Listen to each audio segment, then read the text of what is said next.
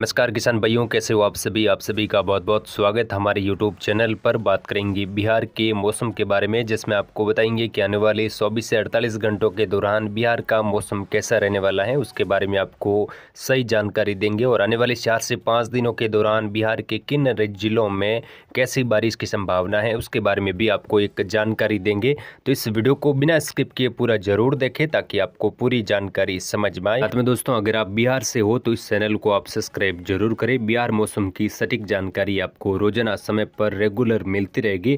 फ़िलहाल किसान भाइयों, आपको बता दें कि सबसे पहले मौसमी सिस्टमों की बात करेंगे, उसके बाद हम बात करेंगे आने वाले चौबीस से अड़तालीस घंटों के दौरान बिहार के किन जिलों में बारिश की संभावना है।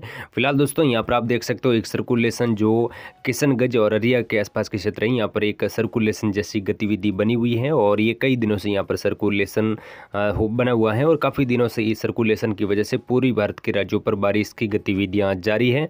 यहाँ पर आप देख सकते हो जो बिहार के मैप के माध्यम से आपको समझाया है, जो गोल दर्शाया गया है। यहाँ पर बादलों की कुछ आवाजावी है। मधुबनी, सुपौल, साथ में अररिया, पूर्णिया, कटिहार और मधुपुरा और कोसी, खगड़िया बागलपुर बंका और मुंगेर, साथ में जमुई के आसपास के क्षेत्रों पर भी कुछ पतली परत वाले बादलों की आवाजावी बनी हुई है। हालाँकि बारिश की गतिविधियाँ फ़िलहाल बिहार के क्षेत्रों पर नहीं है, लेकिन उम्मीद है कि आने वाले चौबीस से अड़तालीस घंटों के बाद यहाँ पर बादलों की आवाजावी और कुछ मेघ गजना की गतिविधि कुछ अररिया और सुपौल, साथ में मधुबनी, दरभंगा, मधुपुरा, कोसी और पूर्णिया और कटिहार के आसपास के क्षेत्रों पर बढ़ेगी। हालाँकि दोस्तों, इन बादलों से बारिश की उम्मीद कम है, लेकिन कुछ स्थानों पर मेघ गजना की गतिविधि या प्री मानसून की एक्टिविटी देखने को मिल सकती है। अप्रैल के सेकेंड वीक में यहाँ पर बारिश की गतिविधियों में काफ़ी ज़्यादा बढ़ोतरी होगी। कई जगहों पर तेज आंधी और बारिश की गतिविधियाँ देखने को मिलेगी। उसके बारे में भी आपको हम लगातार अपडेट करते रहेंगे। आप चैनल को सब्सक्राइब ज़रूर कर लीजिएगा। साथ में जो पश्चिमी और उत्तर पश्चिमी क्षेत्र हैं, यहाँ पर लगभग मौसम शुष्क रहेगा। यहाँ पर गोपालगंज, साथ में सिवान, सारण, पटना के आसपास के क्षेत्र हैं, साथ में अरवल और